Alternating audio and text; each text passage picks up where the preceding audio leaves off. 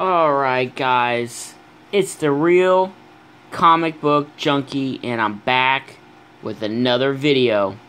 This one is for um, my good bud, uh, SemperFi Comic Guy, his uh, 4th of July contest.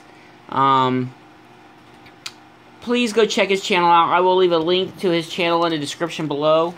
Um, just a super nice guy just an all-around genuine nice guy who loves giving to the community.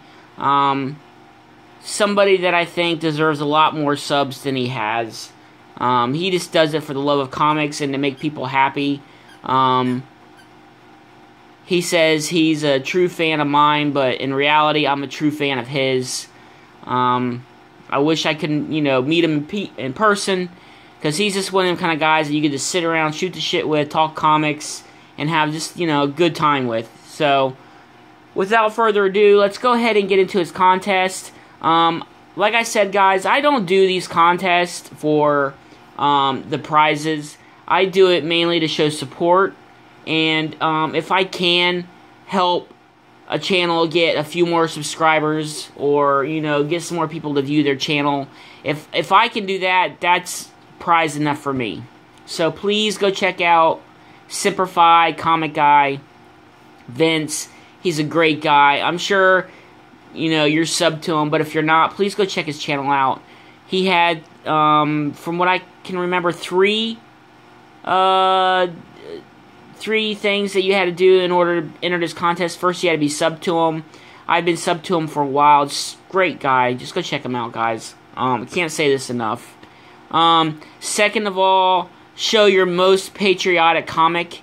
Um, and then uh, tell a memorable um, Fourth of July story because you know it's a Fourth of July. Uh, it's a Fourth of July um, contest. So what I have here is this here is the flag that was on my dad's grave. Um, he served in the Air Force.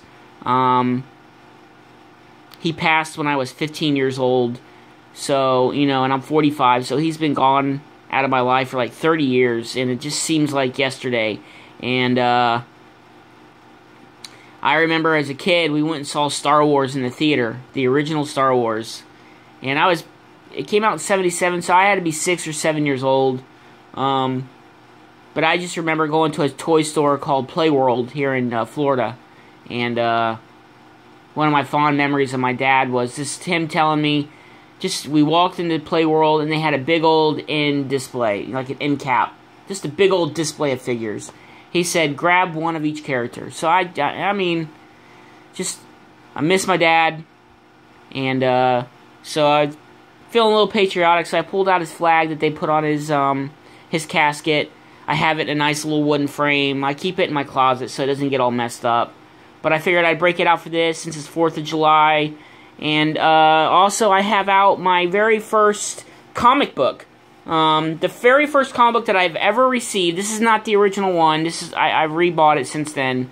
But um, yeah, uh, you know, my, my uh, when I went to school, I was in the third grade, and my teacher she put comic books in the boys' stockings, and she put like little Barbie dolls or something like that in the girls' stocking, and uh, I remember walking into my class and seeing my my stocking said D James, and I just like I ran over to that stocking. I saw that comic book, and I never put it down.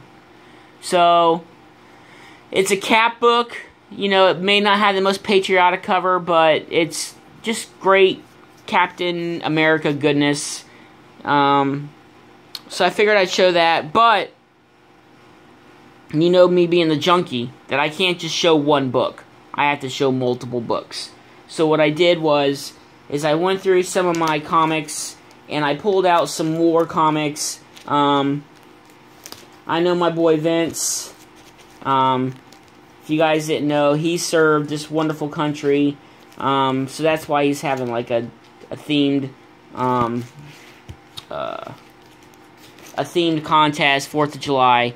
But what I did was, is I went in my boxes and I dug out any comic book that I could find that was Marine Corps related. So, because I know my boy was in the Marines. So what I did was, I went through and I dug out some uh, some Marine comics just to show you guys. Um, nothing patriotic about these comics, just the fact that it's the Fighting Marines or Marines related. And I know Vince was in the Marines, and I'm sure he'd get a kick out of seeing some of these old classics, uh, Silver Age books, Bronze Age books. So I went ahead and whipped them out. Here we got Fighting Marines number 171. And then we have Fighting Marines 147. Um, I love war comics. They're great. Here's Fighting Marines number I don't even know what number it is. There's, you know, just some different different covers. Here's another Fighting Marines cover. I figured Vince would love seeing these. Here's another Fighting Marines 144. I mean, they're not in the best condition, but hey, they're war comics. You know, these it's funny because here's another Fighting Marine or Marine War heroes here.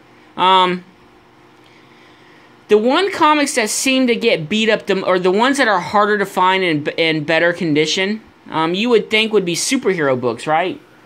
No, it's actually, it seems like um, the comics that were uh, war based or, you know, you know, war comics and stuff like that, like Unknown Soldier, Sergeant Rock, those kind of comics seem like they got beat up a little bit more over the years and then like normal superhero books. Um, Here's another Fighting Marines. Here's another one. Number 149. And then I have a couple classic uh, Golden Age, not necessarily uh, Marine related, but they're two of my oldest war comics. And uh, here's uh, Soldier War Soldier Comics number 8 I just love that cover. The reds are red. You know, the yellows are yellow, and it's still in relatively good shape. I mean, there's no major spine damage on this comic. I mean, a little wear and tear. But it's a 10 cent cover price. And then here's another one of my favorites. Here's another uh, Battle Stories. Uh, a Fawcett comic book. Uh, but look at that, number 8. Look at that cover.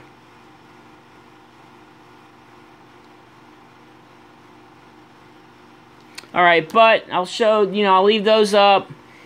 Um, but my favorite, most memorable 4th of July um, has to be when um, I asked my I asked Jessica to marry me. Um, I asked her to marry me. It was probably in May, and then our very first, our very first Fourth of July together as like an official like getting married couple was that same year.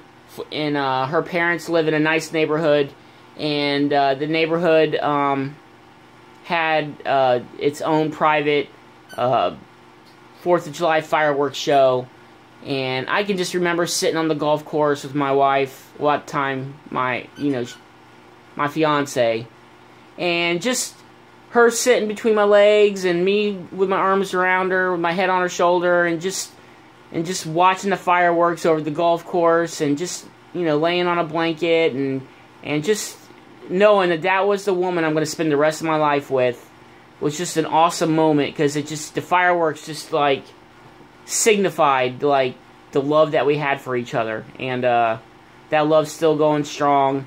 Um, we've been together 12 years, so that's my most memorable Fourth of July moment. Was uh, the Fourth of July right after I proposed to my wife, and uh, just the fireworks and and all that just seemed right at the moment. Um, just spending the spending the day with her and the night with her was just a really special time for me. Um, one that I'll never forget. And uh, but that's my uh, most memorable moment. Um, a little tidbit about my dad, who served in the Air Force. Um, there's his flag. There's my first Captain America. My first comic book ever was a Captain America book, and I showed some, you know, bronze, silver, and golden age uh, war books, um, highlighting the Marines for my boy Vince. Anyways, guys, it's almost 10 minutes long. Go check his channel out. He's a great guy. Um, I'll leave a link to his channel below.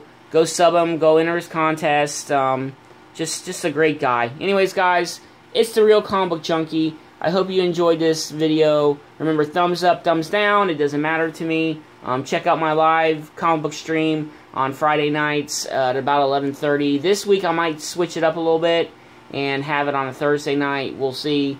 But remember, guys, collect comics, sub each other, and let's have fun. It's a junkie, and I'm out.